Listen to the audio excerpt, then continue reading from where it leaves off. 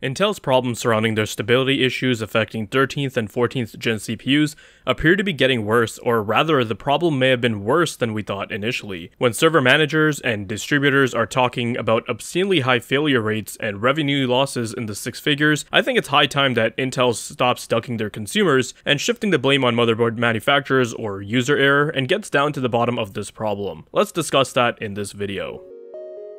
Hey, if you enjoy content like this, drop a like, make sure to subscribe, and smash that bell so you never miss another video.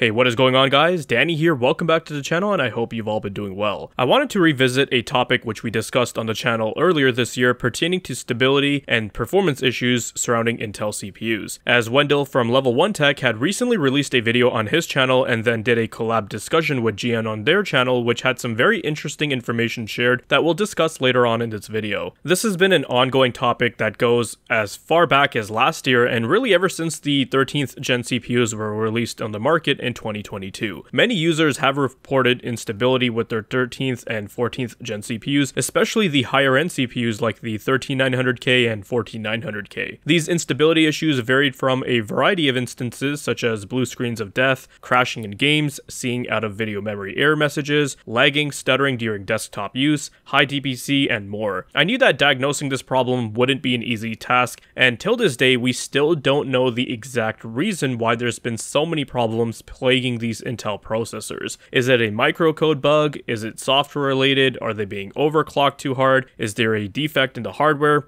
Who knows? Many other YouTubers have put out some excellent videos showcasing their problems, some of the fixes they applied, as well as putting out some theories as to what the underlying problem possibly could be. Brian from Tech YES City was one of the first guys in the platform to talk about the issues last year, and he's had conversations with individuals while he was at Computex in 2023 who are within the engineering circles of the manufacturers and was told that this was happening because of the input-output hub being detached from the CPU directly. Buildzoid on his channel channel talked about various settings within motherboards, such as power limits and LLC settings that could be causing the problems. And speaking of motherboard settings, manufacturers over these past couple of months have been releasing BIOS updates with new Intel profiles that adhere to the Intel stock power delivery guidelines when it comes to wattage, current, and LLC values. And I felt as though this was probably one of the things that was causing instability for a lot of users, because prior to this, many motherboard manufacturers would have unlimited power limits set as the default from the factory. So this could result in users essentially running overclocked CPUs. As many users who were experiencing issues said their problems were fixed when they had lowered the PL1 and PL2 values to the actual stock guidelines, and that fixed it for them. Some users said they were able to avoid crashing in games by just simply lowering their boost ratio multiplier by a hundred or a couple hundred megahertz, as suggested by some game devs. Some folks had to ensure that their current limits were set up properly at 307 amps or 400 amps. If you guys remember that Reddit thread I shared in my previous video talking about this subject, and if you have been having issues with your 13th or 14th gen chip, I highly recommend checking it out That thread is still quite active, and over the course of these last couple of months, there have been numerous users who have contributed to it by adding their experiences and also shared what settings worked for them. And what's good is that this thread consists of users who are running a variety of different motherboards from Asus, MSI, Gigabyte, and even NZXT. So if you're currently experiencing issues yourself, some of this information shared in this thread could be quite valuable to you. One of the other things that I suggested was how many people were using boards with unstable memory or XMP, and as someone who's gone down the DDR5 tuning rabbit hole, one thing I can say with confidence is that memory XMP profiles as well as QVL lists are garbage. With DDR5, I've seen far too many instances of XMP profiles being unstable, or where motherboards were cranking certain voltages way too high. I was messing around with a 7600 megatransfers kit from Patriot, and when just enabling the XMP profile on my test bench with a 13900K, my system agent was being set to like 1.37 volts. Now, I don't know who exactly would be to blame here, if that's the memory DIMM manufacturer or the way MSI's board was handling it, but do you know what voltage my chip's system agent runs stable at? 1.15 volts. That's it. And even with my 14900K on my Asus ROG Apex, the Team Group XMP setting was at like 1.3 volts for the system agent, and all I needed was 1.14 volts for this chip. The same goes for IMC voltage and my VDDQ. They were being set at above 1.4 or 1.45 volts when all I needed was I think 1.28 volts for my IMC voltage and my VDDQ was at 1.35. There are some specific sweet spots that will only work for the chip and for some reason if you're above or below it, instability can occur. That's just the experience I've had with tinkering with DDR5 and it's less forgiving than DDR4. You guys will see how memory plays a role into our discussion later on. Let's circle back to the level 1 tech video. And by the way guys, links to all of those videos and threads will be posted in the video description.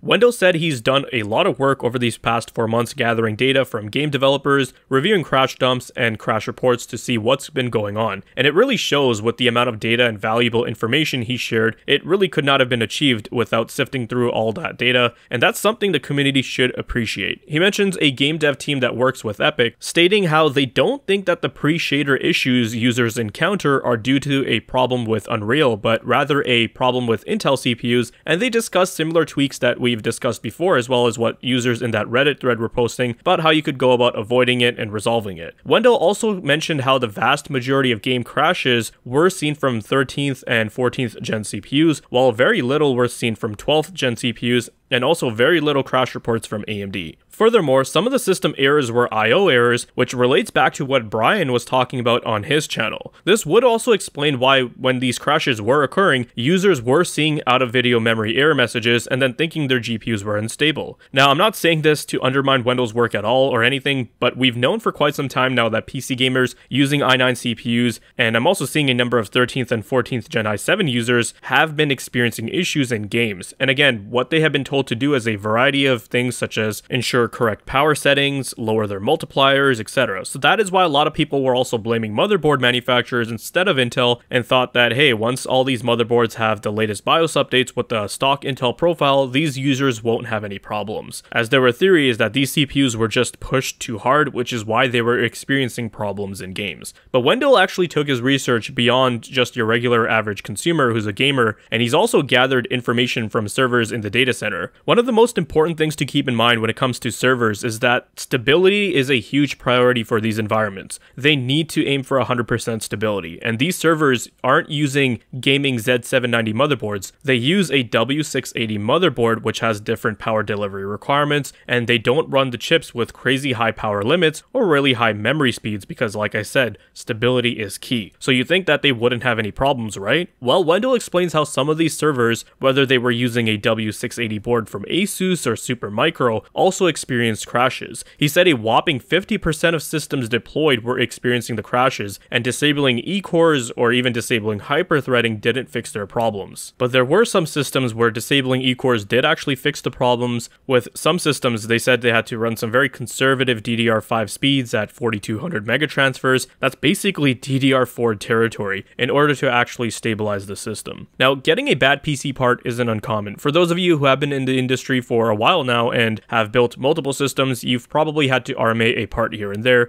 I've had to RMA a small portion of CPUs myself over these years. Having a small minuscule amount of CPUs out of thousands and hundreds of thousands be bad isn't uncommon, but when we're talking about a 50% defect rate, that implies to me that this isn't just a small batch that went wrong, but there is something inherently wrong with these CPUs, whether it's a broken design that Brian was talking about, or if it's a quality control issue in their fabs. One of the data center server providers told Wendell that they were dealing with a higher than usual support demand for those Intel systems, where they just said, screw it, we're going to have to start charging a higher premium for support calls, $1,000 higher compared to AMD, because this is getting too costly for us. Another game developer also told Wendell that they could be looking at potentially 100k in damages due to lost players because of their server crashes, which had these Intel CPUs running in them. What's also interesting from Wendell's findings is that these problems are occurring on Linux servers as well. And one of the theories that was thrown around when this problem started to initially surface was that, oh, it's a Windows problem and Intel's got to optimize their scheduler properly for Windows, but now we know Linux users have been experiencing these errors as well. I think this problem is a lot bigger than some people are grasping because it's one thing to say that, oh, your gaming motherboard was just running an extreme overclocking profile and that caused the CPU to malfunction. But in this case, we're talking about a server environment where they're generally running conservative settings to prioritize stability, lower power consumption, lower heat, and lower noise.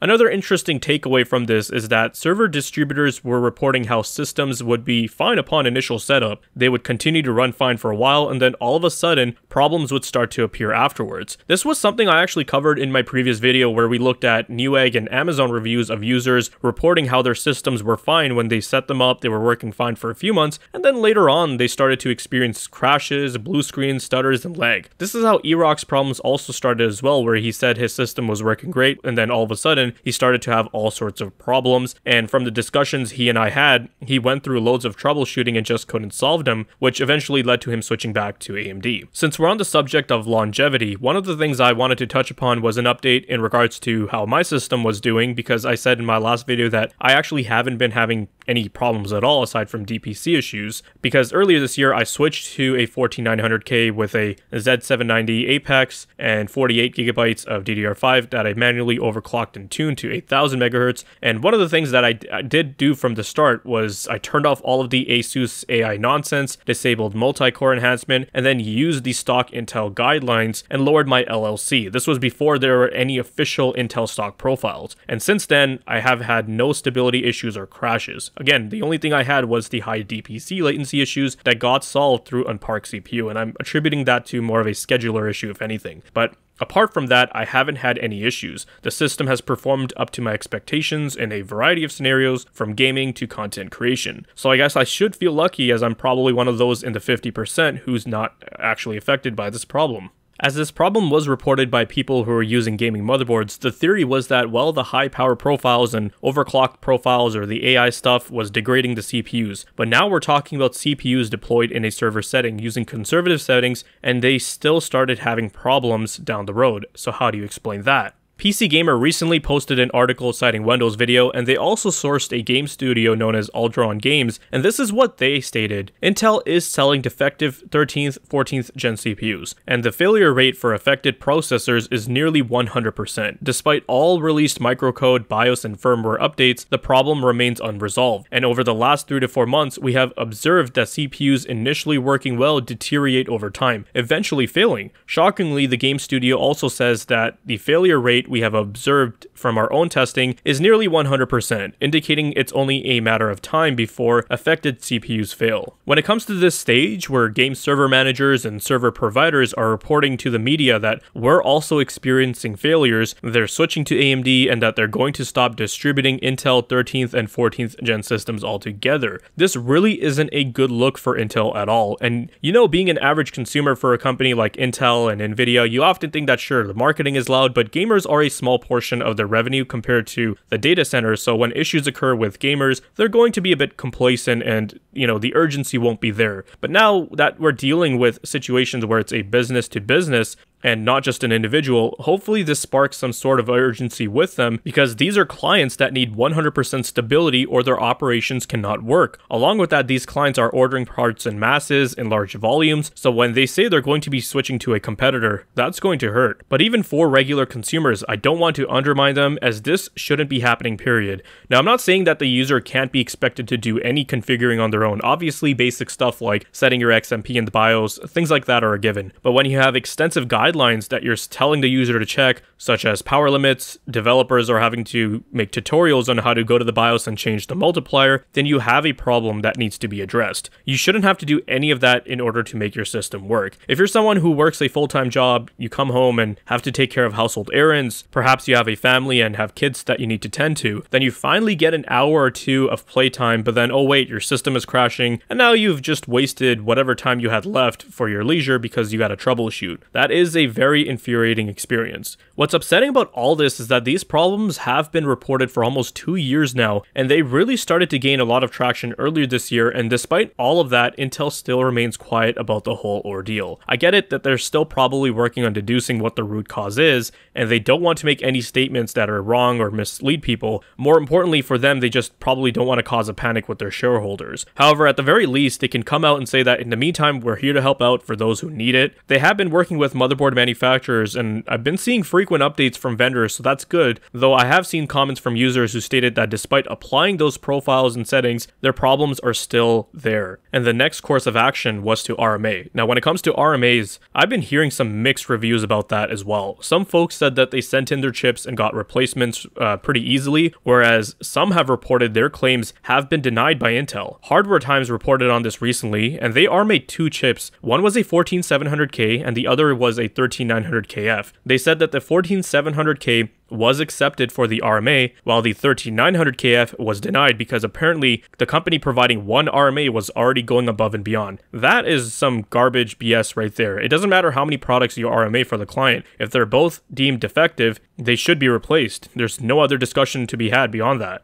I found this Reddit thread of a user who reported having a gradually deteriorating experience and eventually had to RMA their CPU, but were told it would take about 3 to 6 months for a replacement, or they could accept a refund which would be processed sooner, but even that was quite a hassle for them to get, and there are others in the comment section talking about how inconsistent their experiences have been, where one RMA was smooth and then their second RMA was a nightmare. This shouldn't be happening, especially when there's so much evidence out there pointing towards these processors having some inherent inherent issues. I'm not sure if it's a communication problem within the company or a lack of training for their RMA centers, which sometimes operate through a third party, but right now it's of the utmost importance that Intel treats their customers right, because this is just going to have a bad knock on effect, and I'm already seeing it in the comment sections where folks who have stated they've been primarily using Intel for many years are now looking to switch to AMD. So I guess AMD should be thankful for Intel for the free marketing and sales campaign. In any case, the more the situation drags on without any further official statement, it's just going to become worse for them. For those who are affected by the problems, I'm honestly hoping you guys can get them resolved.